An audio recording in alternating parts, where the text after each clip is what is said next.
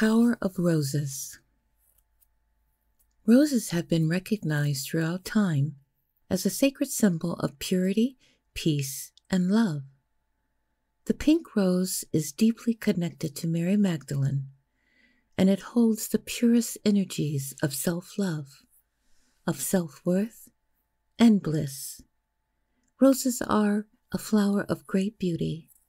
They express promise, hope, new beginnings, and contrasted by the thorns symbolizing defense and loss.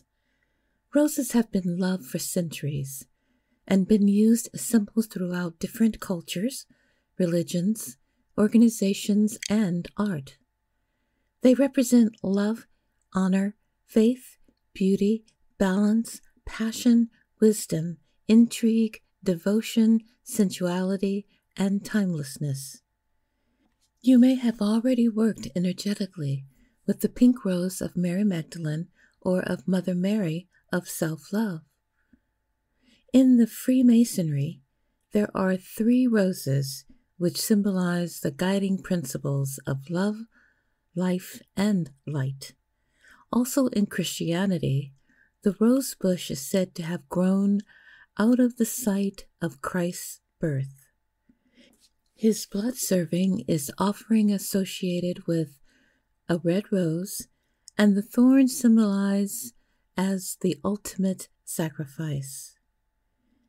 There are several roses in the tarot cards where the rose is a symbol of balance.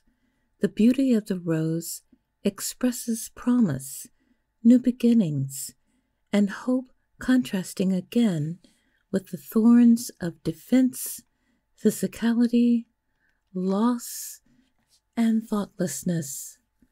The rose is seen on the magician's strength, death, and fool cards, all which hold strong meanings of balance and equilibrium. The Magdalene rose is usually symbolized as a pink rose for self love and deep connection to Mary and her beauty, passion, compassion, healing skills, and her love. Pink roses have been dated as far back as 40 million years. In China's imperial rose garden, about 5,000 years ago, they grew pink roses and have continued to be grown in history ever since. Pink roses are the classic color of roses. They were the first rose cultivated as they are the most common color to go in the wild.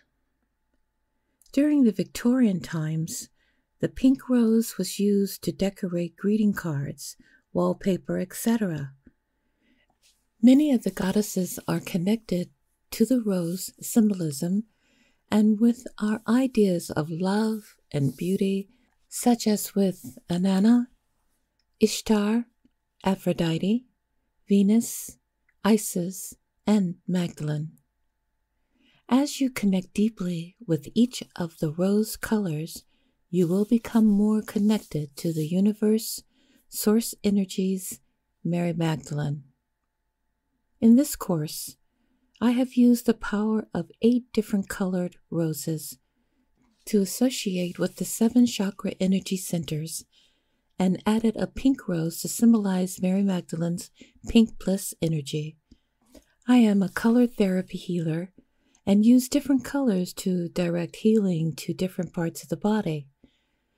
This is a very powerful way of using color to direct healing to different areas with the chakra energy system. In the past, I was creating a healing system of identifying energy blockage, unbalanced chakra systems, and healing this imbalance.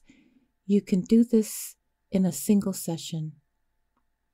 Over time, the chakras can become imbalanced again, and this was something that Dr. Usui also found when healing the people with the Reiki healing. That even though the Reiki healing, crystal healing, chakra balancing, spiritual healing all bring balance, in time, the client will require further healing because the old patterning conditioning remains.